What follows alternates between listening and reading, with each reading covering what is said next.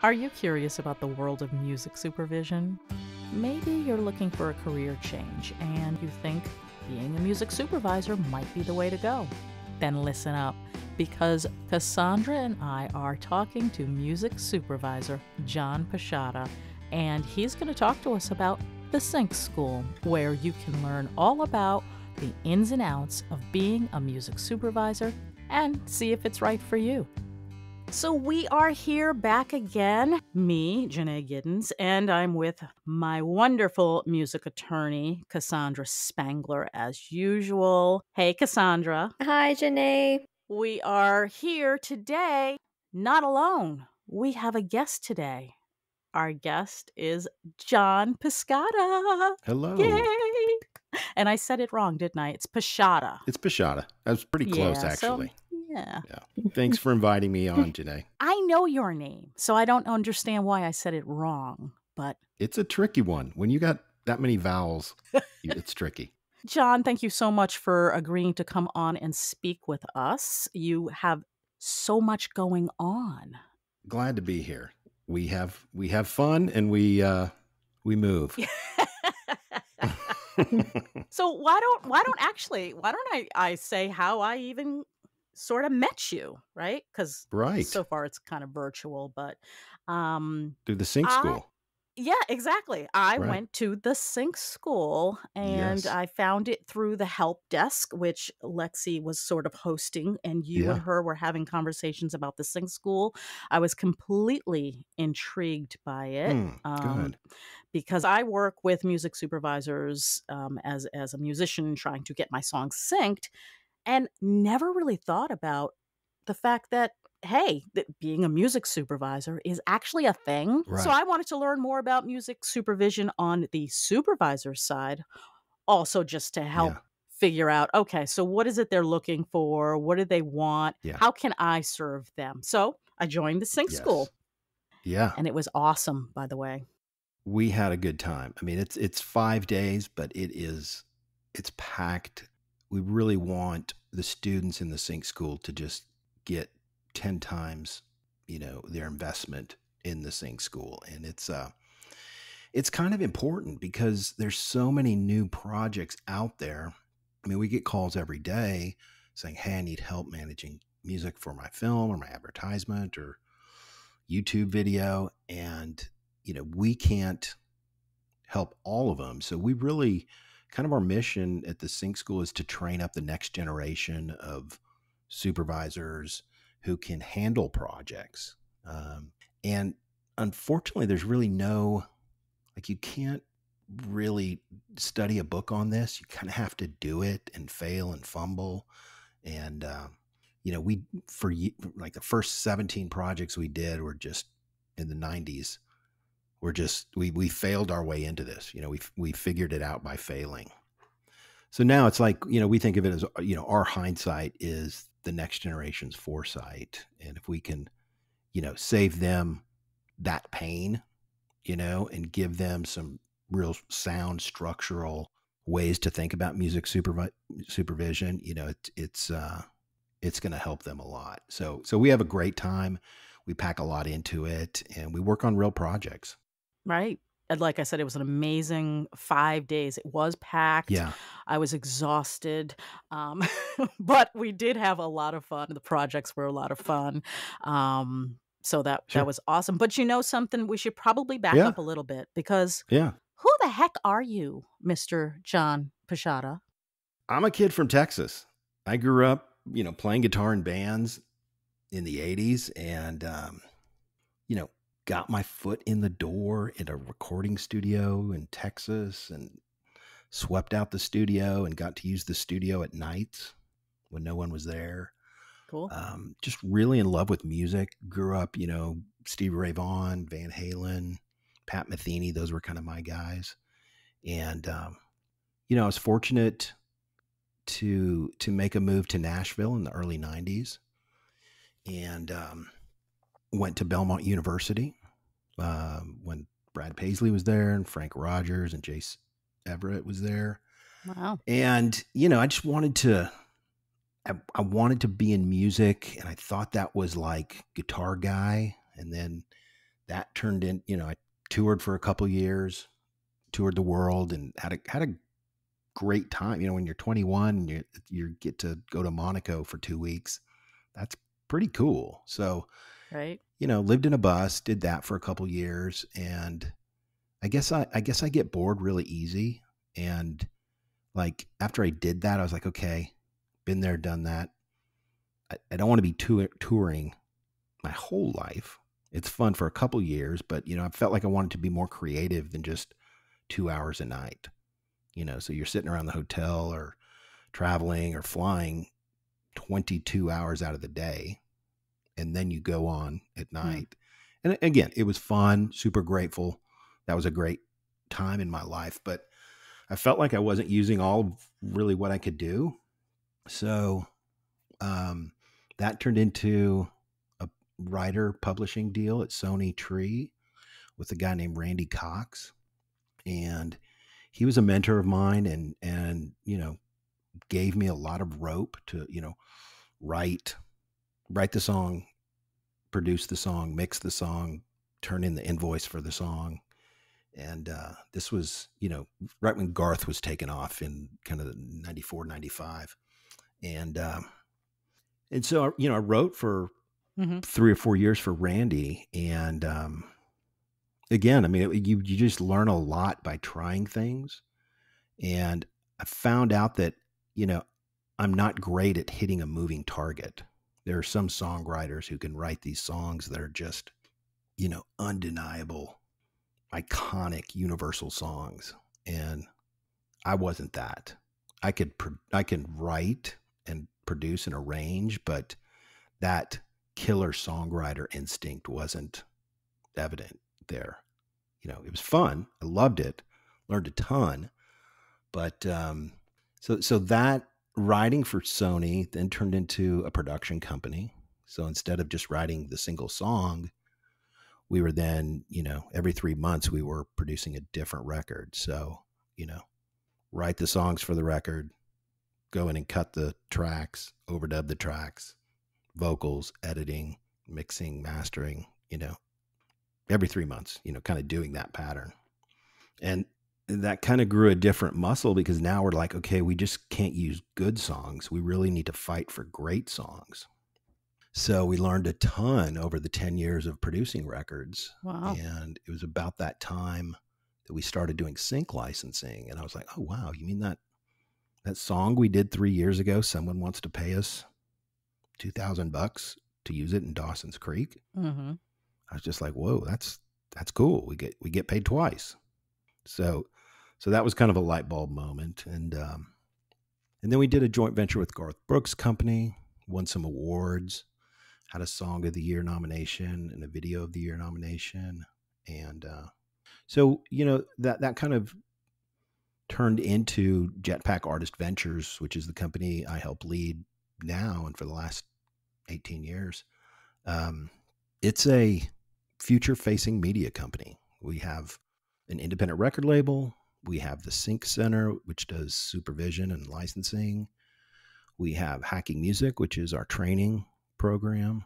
And, you know, that that keeps us busy. It keeps us busy. You know, we, we're big believers in helping the next generation of artists and that kind of gets us to hacking music in the sync school. It's, you know, it's there's not a how do I say this? There's there's a lot of really overpriced education, colleges, universities that are trending 15 years late. So when I was teaching at, at Belmont, you know, they were they wanted me to use this book that was just kind of behind the times and I was like, guys, you know, I'm not really comfortable using this because it's not where the world is today. So that really was the impetus for us to write Hacking Music, which is a book that we we wrote and we launched it at Harvard University of all places, um, which is kind of mind boggling. So we really take a honest, you know, we we we call it no BS, real world, and 100% actionable.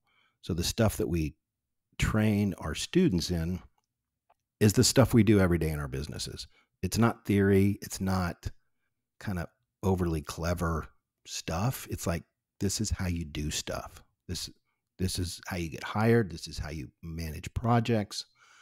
This is how you onboard customers, this is how you do e-commerce, you know, the whole mm-hmm. thing. So um so yeah, it's it's it's um it's not just cuz somebody's clever, it's because we're we've actually been fortunate to work on real things.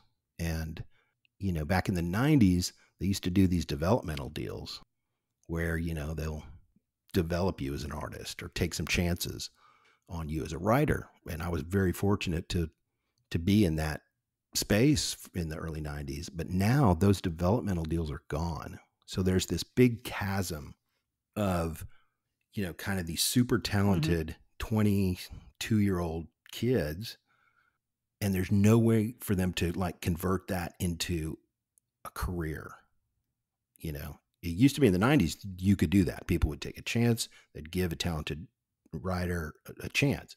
Now it's like that's totally gone. So you've got this chasm there and i'm going like well how do we how do we replace the artists we've lost with the next generation right. of healthier more profitable artists? Same with supervisors. How, how do you get from hey i love music to hey i'm working on projects that's a big chasm. Um, so so that's kind of where we focus. We set aside some hours each week to train artists. We don't call it coaching. We don't call it consulting. We we call it training for a reason, because we're we're training people to take our place, right? And and right.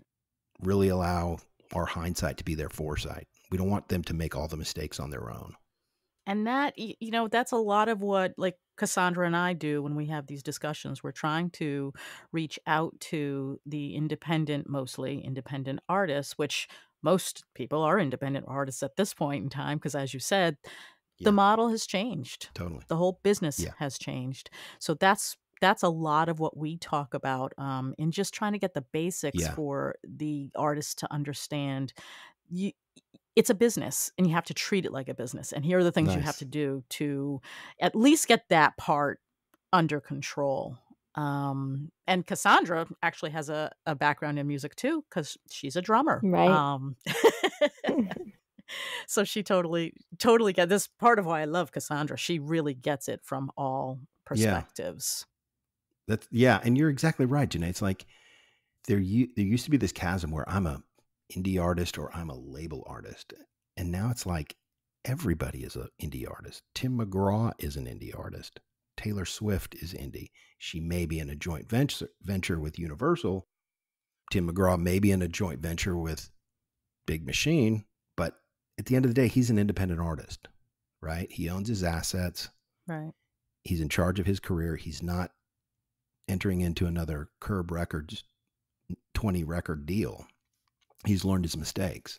So, so yeah, everybody, every it's it's very much a, a joint venture world, you know. And, and I think as artists begin to think of themselves as joint ventureable, are they creating something that people want to be in business with? You know, it's not just talent; it's actually your platform. It's actually your your infrastructure it's actually your back office it's actually your e-commerce all that stuff makes people want go okay wow this guy this girl's a real business. You know there this is somebody i'm interested in joint venturing with in some capacity. Um, so that's really the new the, the days of, of getting signed to a label you know it's it's just so far beyond us behind us that uh, you know healthy artists really think about how do I build something real? How do how do I build a platform under my music in a way that it really strengthens, support, and supports and sells the music and experiences that artists create. And, and you know when when I asked you to come on, I really was super focused. I think on uh, the Sync School because sure. I I did go through that program.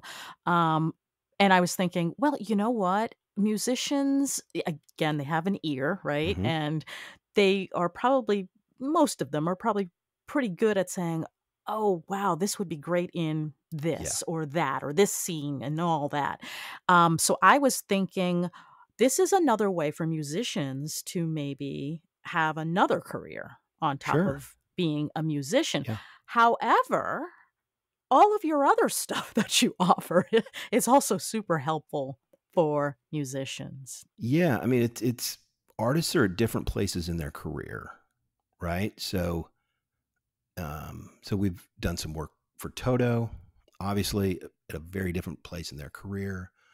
Um as well as developing artists. You know, we think of artists in three tiers or three gears. There's developing artists down at the bottom of the pyramid, deploying artists in the middle, and dominating artists at the top.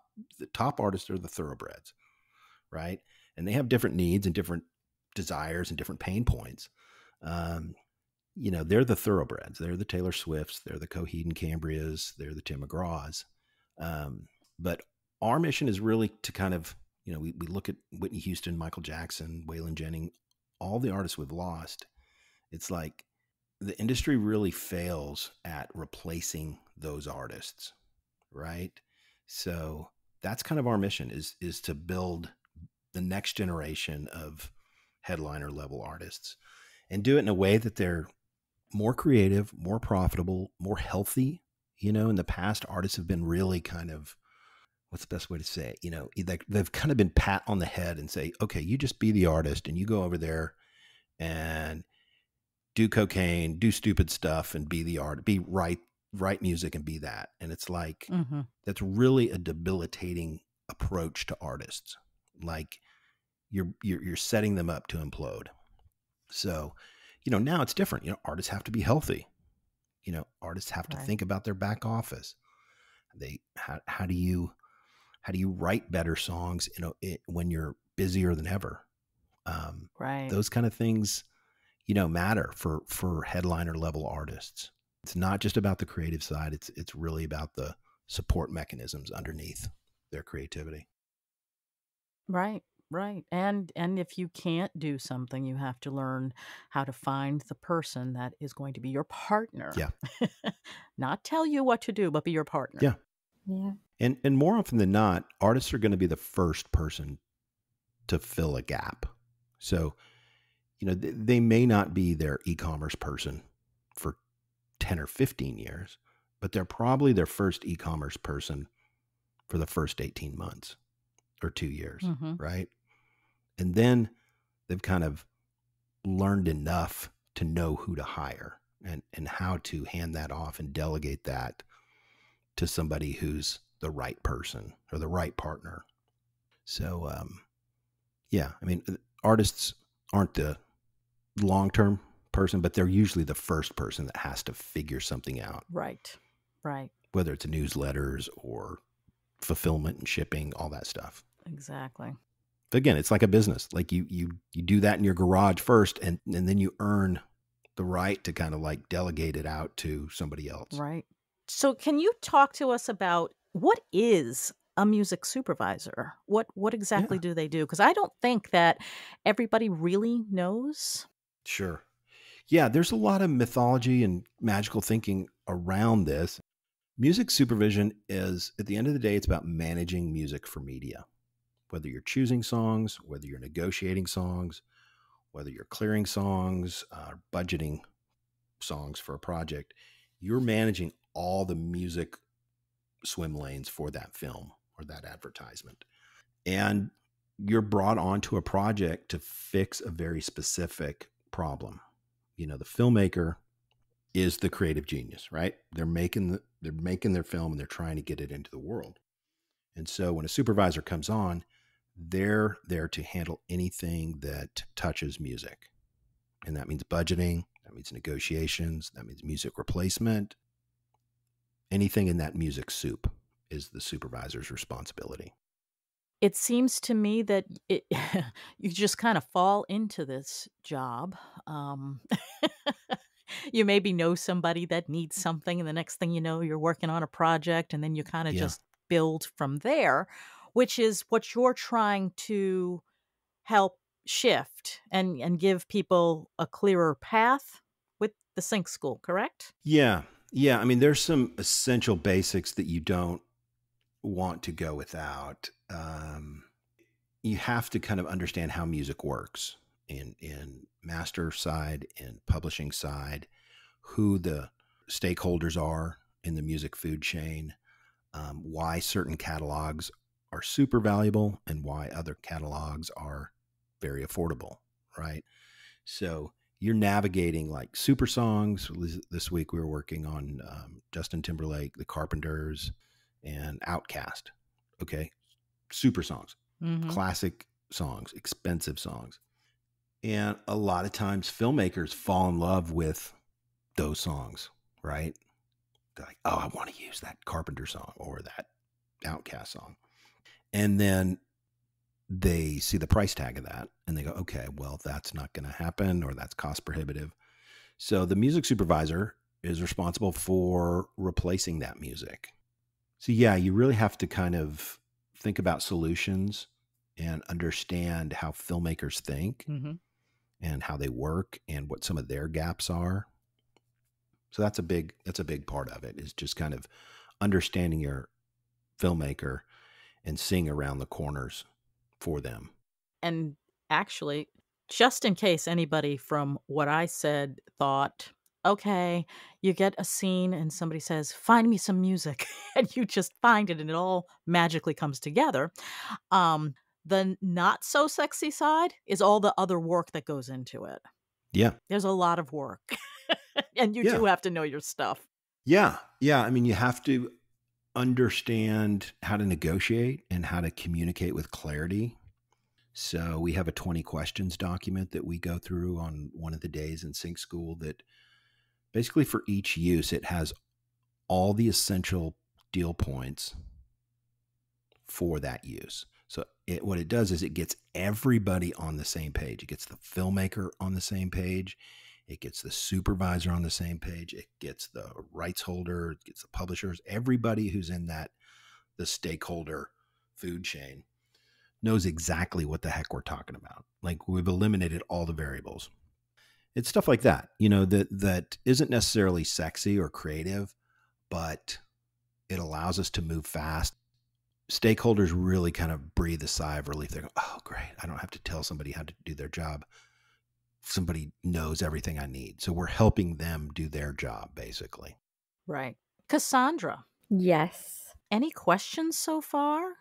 I do. Yeah, John, you mentioned at the beginning um, that you wanted other people to be able to learn from your mistakes. Could you tell us maybe about a mistake that you made early on that you wish you hadn't or that you learned from? Yeah. Good question. So I'm a big believer in not being too precious about your music. Um, one of the first projects we worked on was the Dawson's Creek project, and a good friend of ours, John McCullough, was the supervisor on that. And at the time, we were just in the studio, like we wanted to be creative, we just wanted to be in there, and you know. So when he first reached out to us, we were very precious. I think they were they were replacing um, Britney Spears t- level songs with independent artist stuff. Um, this was like in the early early early days of streaming, coming out of DVDs. What John had to do was replace and resync all the music in Dawson's Creek for streaming because streaming didn't exist. Oh, wow. Um, so they had to go back to Britney Spears and say, "Oh, Britney, we want that song that we used 10 years ago that's now a classic. Oh, would you mind signing it for the same amount?" Um, and of course, she said no. So they had to replace the music. Um, and what we did, the first three or four projects we worked on, we were just so overly precious about our music. We were like, "Oh, that's going to be a eight thousand dollar use. We're going to hold out for eight thousand dollars." and, and we had a number of projects go away just because we were overpricing our stuff. And they're like, well, you're not going to get $8,000 for the song you recorded last year because it, it's not that level of a song. Um, mm-hmm. And what John explained to us is is that look, you know, everybody on this project is getting what's called uh, most favored nations. It was like two thousand dollars, and that's it. You either take it or you leave it. Um, and he really took us aside and said, okay, guys, don't get all stirred up and, and overprice your stuff. You just either say yes or no. And that really helped kind of clarify things for us because we were just thinking, oh, we're going to go, we're going to do $10,000 for this. you know, because we're replacing Britney Spears. It's got to be worth ten thousand dollars, and it it really. We had a number of deals go away because we were just overly precious about our catalog.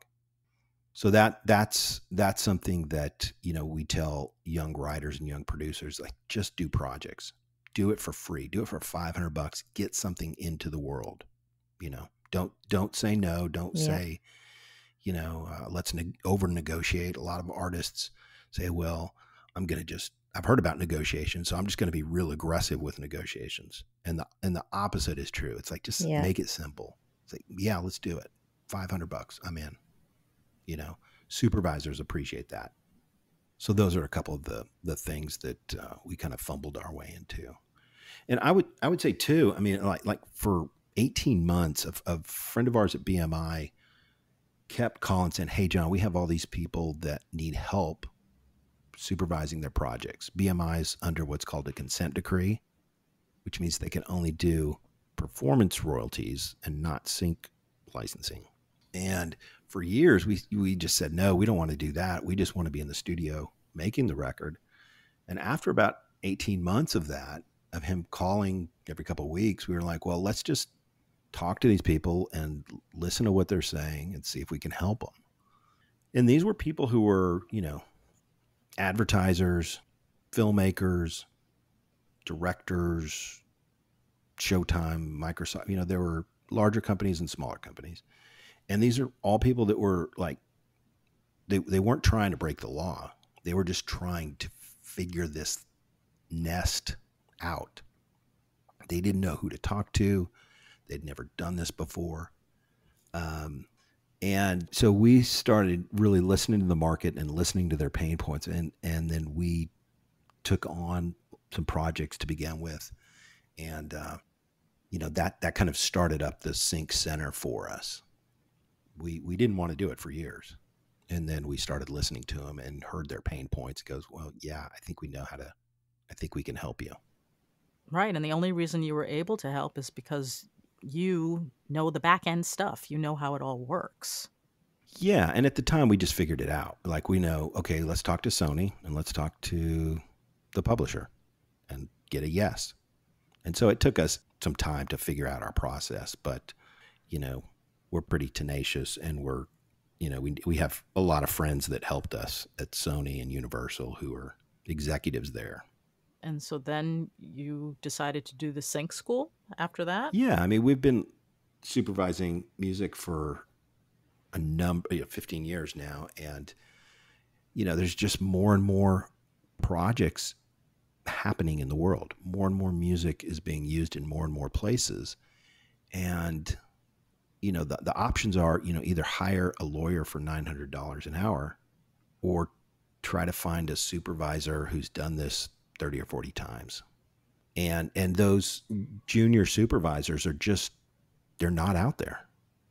You know, there's a lot of passionate people, but there's not those supervisors who, who can kind of take on a project or, or we can give a project to and know in confidence that they're going to land on their feet.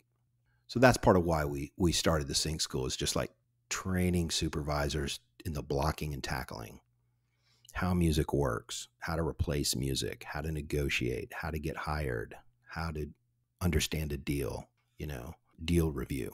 The music part of it is is pretty, you know, people have the passion part of it, but they don't have the competence part of it. So what we're focused on is building the competence part. People are passionate about music all day long, but that doesn't get you hired. Right. And I know in the course, the project that we worked on, um, and it was a small group of us, and they were it was a great group. Um, yeah. But it was so interesting to see how we all came, we all came to the to the final project with completely different ideas, yeah. which was wonderful. Like it, it was absolutely amazing uh, to yeah. see that happen. And, and and directors need options, right? It's you you don't just give them a silver bullet and one and done, and that's it's great. We're we're moving on. You need to be able to bring them. Okay, here's half a dozen ideas. Some are pretty down the middle. Some are kind of left of center. But let's listen to them and and see which one, you know, connects with the director and the producer. Right, which which a lot of times depends on what kind of mood they're going for because I mean, as as I learned, you could put one piece of music in a scene and then change it out completely, and the whole Yeah. mood of the scene changes. Yeah. Yeah, and and filmmakers kind of box themselves in like they they will either have shot something that's too conservative or too silly or too whatever and they need the music to balance it back Mm. out. Like if if, if it's too silly, they want something a little more serious to to balance the scene. And the music kind of is that balancing agent more often than not. So, who are you looking for to sign up for the sync school? I mean, who what would you your perfect candidate be? Yeah. I, I would say it's the person who's worked on some projects and imploded. You know, they, they've tried to take on some things. They're passionate about it. They know they want to go in this direction, um, and they're and they're ready to kind of build that that foundation under what they what they do. Okay. You know, it's it's the it's the person who has the passion and now needs the competence. You know what I mean? Well, yeah, I I do. I'm just wondering how a person uh, uh, without having the experience would would know that except so again i'm i'm in a, Yeah. a program where i'm actually pitching music to supervisors and some of my fellow musicians have actually jumped over to music supervision um Yeah. because they they loved that process that we went through of vetting each other's music you know Yeah. which is a big part of it Yeah, I mean that's what that's what what we did in the 90s. I mean, we spent the decade in the studio writing, producing, recording music and then in listening to the market we're like, you know, I think we can help these people. Um and then that started the Sync Center. So yeah, I mean it's totally I mean you're going to be creative. You need to use that right side of your brain, but you also need to have the left side of your brain. So it's very much whole brain project management, you know.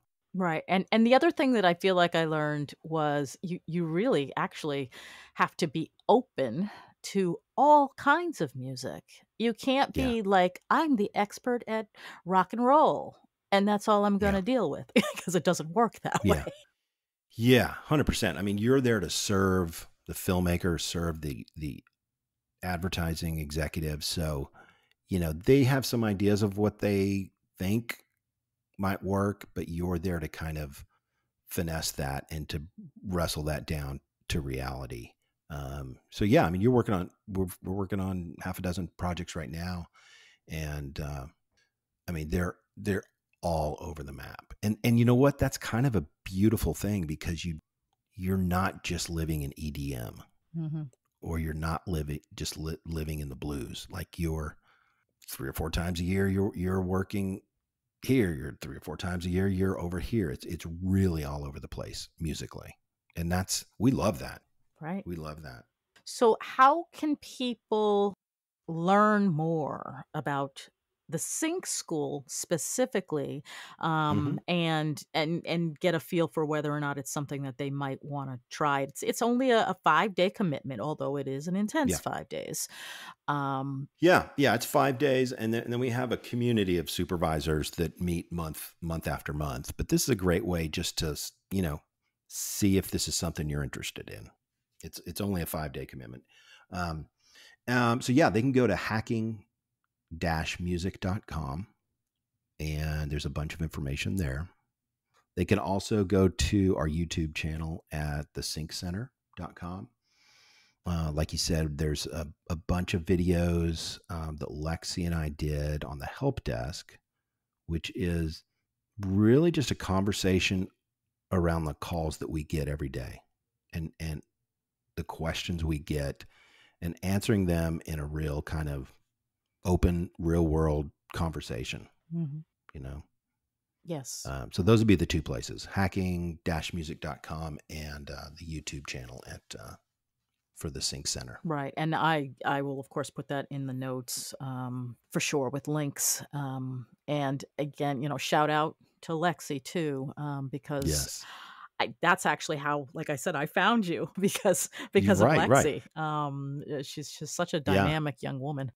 Yeah, she's great. She's great. And she, you know, we've had Lexi has has uh, been hired at ESPN, and we've had a couple of other students who have taken what they've learned at the sync school and turned that into full-time opportunities and that's something that's pretty pretty exciting as we've had a couple networks reach out to us and you know they're looking for people who are again competence. Mm-hmm. like they get passion every day of the week but the, the thing that they they communicated to us is we just need people who understand the process. Right. So they can train them on their internal process specifics there but they just need somebody who knows the blocking and tackling of music licensing.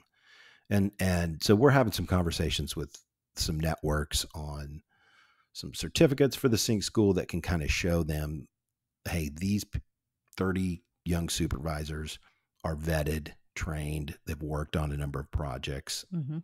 they're ready for their first you know they're ready to go to espn they're ready to go to roku they're ready to go to netflix right. so that's something that we're going to be uh, talking a bit about going forward great Excellent. And we'll we'll be talking to Lexi actually as well. So good, um, good. Because I definitely wanted to hear her perspective on the Sync School, which I know is is is awesome. She's learned so much, and it's been a pleasure to see her actually um, grow and and learn all of this this stuff in what seems to me is a short amount of time. Um, but she really is a go getter. Yeah, yeah, she's great. Lexi's great, and, and you know that's the thing is like you want to work on real projects.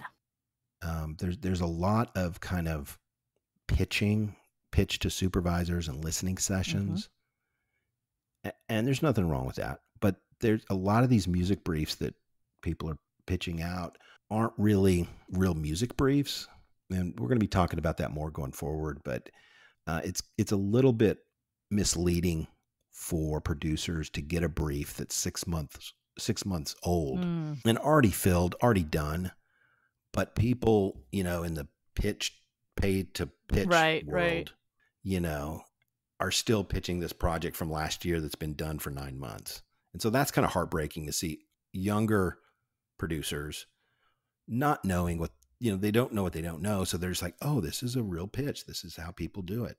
And, you know, I'd say at least 80% of the, the briefs that are out there are not real briefs. So right. we wanted to handle it from the buy side, the supervisor side. So that's kind of what the the sync school is about, and that's what the supervisor sync community is about as well. So we have a great time. Right, right. And that is that's a great point. Um all the supervisors I've ever met are like, yeah, we we don't actually put them out into the world like that for the whole world to yeah. just answer because they're already, and you included, obviously, so busy. You get pitched, I'm sure, a hundred times a day. Yeah. For stuff that people don't even know what they're pitching to. So mm-hmm. just listen to this. This is going to be great yeah. for anything you're working on. And that's just not true. Yeah.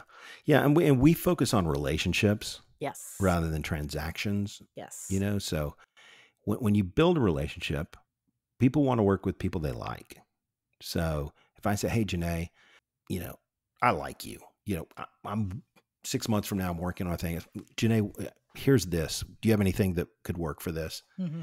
And, and people miss that. It's like humans want to work with humans. Right.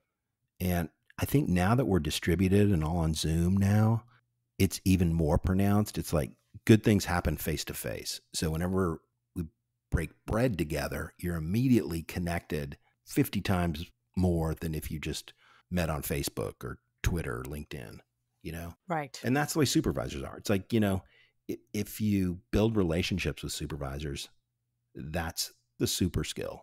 And it's not just, oh, check out my SoundCloud link. You know, right. it's like, nah, pass. right. Do you know how much music I have to listen to? I don't need right. one more song, right? That I, you know, I, I, just don't even have a connection to. So Right. Yes. And again, that's what all the supervisors I deal with are saying, say the same exact thing. The same exact yeah. thing. So Yep.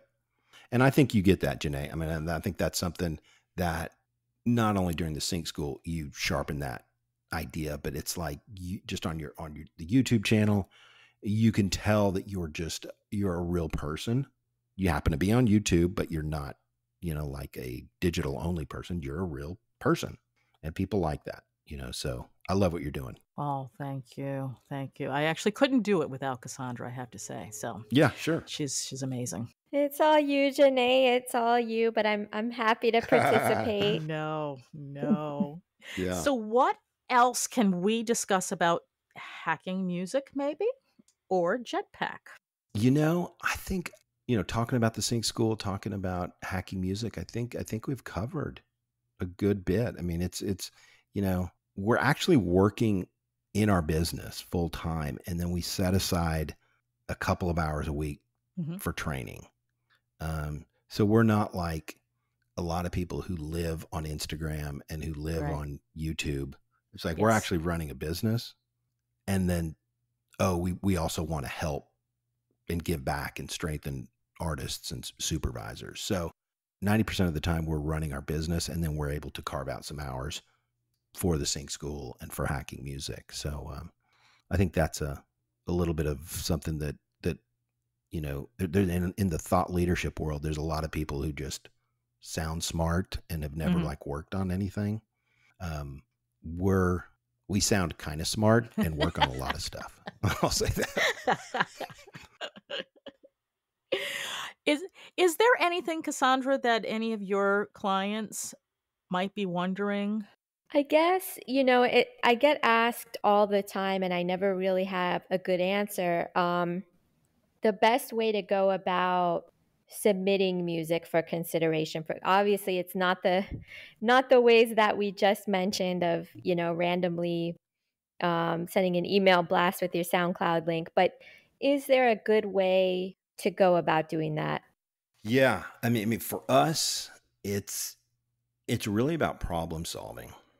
You know, so if you can think about serving the supervisor, and that's what music producers do, they're serving, they're helping the supervisor fix a problem.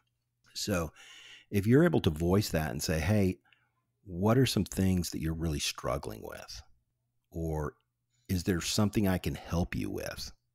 A supervisor's response is going to be, ah, somebody gets it, right?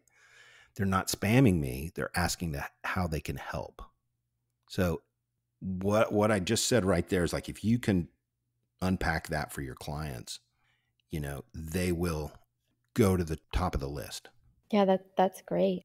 Cuz cuz 300 people this week just went to the bottom of the list by saying, "Oh, yo, here's my SoundCloud link. Check it right. out." And it's like, eh. right? You know what I mean? n- not interested in helping, not interested in understanding, just transactional, right? Right. So, d- does that make sense? Yeah, it makes it makes a lot of sense, um, and that's you know I think a great way to think of it. So I'll be sure to pass that along. Thank you. Yeah, yeah. Again, again, it's just people, people you want to work with, right? Tell me, sure. John, if this doesn't work this way yeah. for you, but again, the other supervisors I've talked to, they also appreciate it when you do your research.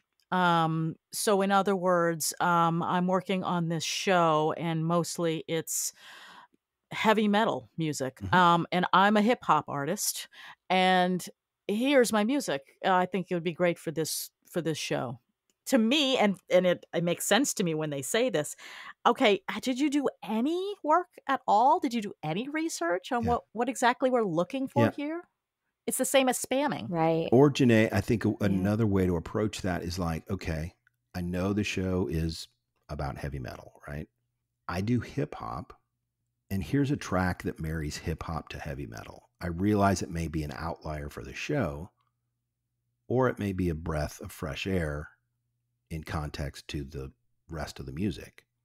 Just thinking about how I can help. Here's something to listen, you know, that you may want to check out. All the best, you know, not expecting anything, but right. understanding, you know, everything isn't heavy metal, right? There has to be some backing the pedal off, right? So if you understand the supervisor and understand their their pain points, again, you're bringing a solution to them you know, here's something that might be a breath of fresh air in the context of the rest of the show. It's hip hop plus heavy metal. That's that's a way to to voice that in a way that is like, oh yeah, somebody's thinking with me. You know what I mean? Yeah. Yes, and and they did their research Yeah. because exactly the way you stated it was perfect. Like, okay, I know, you know, this is what this is about. However, Right. right? I, yeah, I get that it's heavy metal, but if if you ever need a break from that or need something left of center, here's a, something that's a marriage between hip hop and heavy metal. You know, Right. so See that? That's a wonderful suggestion. Yeah. Yeah. So, any other questions, Miss Cassandra, or anything else that you want people to know, John? you know, Jetpack as a company is really built for the future for for artists who want to build a five and fifteen and ten year career. So that's kind of what gets us up in the morning, and that's what um, we look for in artists and writers and supervision projects. Um, it's about serving and strengthening artists and entrepreneurs. So, uh, yeah, I think that's that's what we're about. Okay. Great. And I again will put the links to everything in um in the notes and they'll also be up on the screen as well. Sure. And something too, Jeanné, I think that that maybe maybe some of your listeners might like. Um, we can create a uh, like a special for your listeners. Um, I can send you that code Oh, okay. offline, but um, you know, I, th- I think your your your show's great, and your conversations are really like they're real conversations, intelligent conversations. So, um, so yeah, if that's helpful, we can uh, we can send along a uh, discount code. That that would be fabulous, I think. What do you think, Cassandra? Yeah, that sounds great. Thanks, You John. bet. Yeah, guys. And any other questions, uh, feel free to reach out. Um, we're out here west of Nashville, having a great time.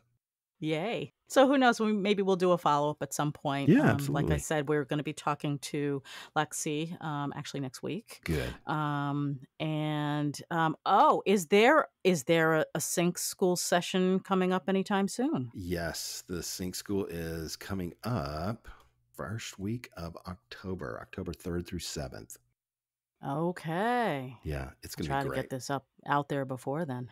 and we we do this a number of times each year, so so there'll be some there'll be another another group coming up as well. So Okay, great. yeah, Great. awesome, Jeanné. Thanks so much for the conversation. I had a great time. Oh, thank you for coming on and doing this with us. We really appreciate it. Anytime, my friend. Yes, thanks so much, John. It was um, very helpful. Lots of great information. Absolutely, Cassandra. Great to meet you as well. You too. Talk to you soon, guys.